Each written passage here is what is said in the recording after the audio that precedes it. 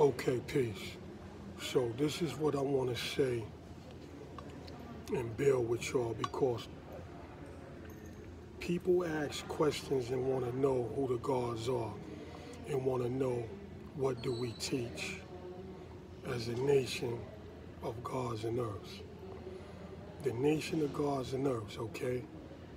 We teach that the black people are the original people of this planet Earth. and therefore, okay, we are the fathers, gods, the earths are the mothers, earth of civilization. That's what we teach. And as a matter of fact, today's mathematics is power, power refinement. All right? Just want to put y'all on real quick.